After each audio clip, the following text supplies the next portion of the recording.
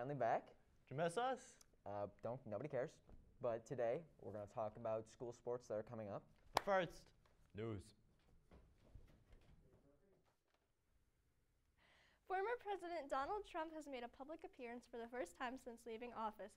At the Conservative Public Political Action Conference, or CPAC, Trump was welcomed as a returning hero and he proclaimed himself as the leader of the Republican Party, despite losing the election in November. The former president went on to bash his successor, Joe Biden, and he screamed, Do you miss me yet? at the crowd.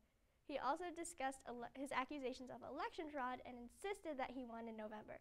He hinted at running again in 2024 since he was pardoned from impeachment for the second time in February. Multiple parents living in the Fayetteville Manlius School District held a pro protest for their children to go to school in person five days a week. The protest occurred yesterday afternoon at Snowtop Ice Cream in Manlius. Some of their children were there as well.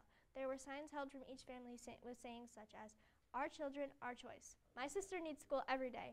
You're failing our kids, and screens are not school. Between hybrid and virtual, students are struggling to complete assignments and staying focused in class. There is also a struggle in social interactions with others that some students would like to have.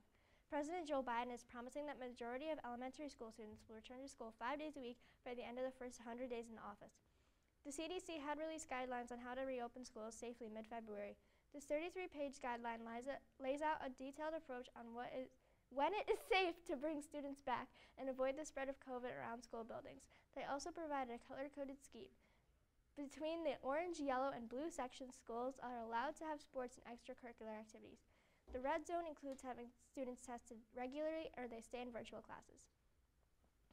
Police in Sri Lanka arrested two men Monday night who are suspected of beating a nine-year-old girl to death while performing an exorcism on her in an attempt to drive away the devil.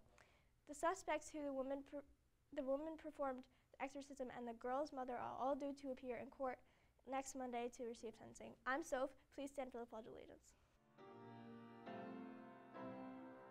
I pledge allegiance to the flag of the United States of America and to the republic for which it stands, one nation under God, indivisible, with liberty and justice for all. Voting for a senior variety show theme, all seniors will be receiving a Google form slash survey via email from our variety show advisors, Mr. Burgess and Ms. Giacomo, later this afternoon. We would appreciate your participation and your vote for this year's theme on or before Friday, March 5th by 3.30. If you have any questions regarding this year's senior variety show, you can stop and see or email either Mr. Burgess or Ms. Giacomo. So, like we said, we're going to be talking about the upcoming school sports, or school sports, and we're going to be starting off with football. Of course, we would start off with football. Okay. Anyways, but football will be returning March 8th and is coached by Mr. Depard and Mr. Eschbacher. Well, you only know that because you play football. Yes. Like I know that indoor track starts the 8th, March 8th, and is also coached by Mr. Staub this year. I also know that in a way, it runs right into the outdoor track season. Good one. John? Well, I could say that it uh, jumps right into outdoor track, or that we're getting uh, thrown right into the next season.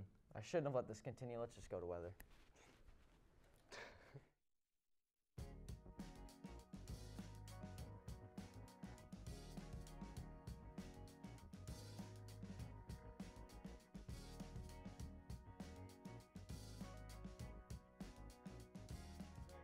Tuesday, we will have a high of 28 and a low of 23 degrees, being our coldest day of the week.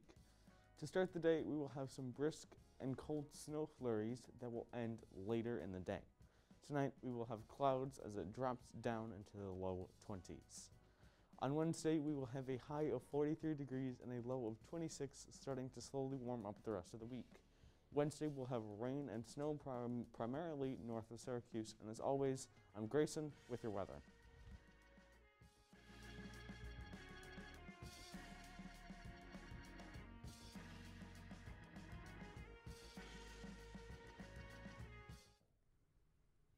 Welcome back.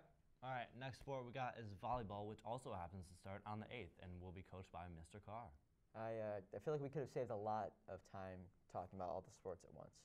Well, Luke, I find that taking time to slow down and expand your speaking into different spaces really helps clear your mind and open your soul to the world. The deep hippie, hippie stuff has really gotten to you, huh? no idea what you're talking about. Now let's go to sports with us.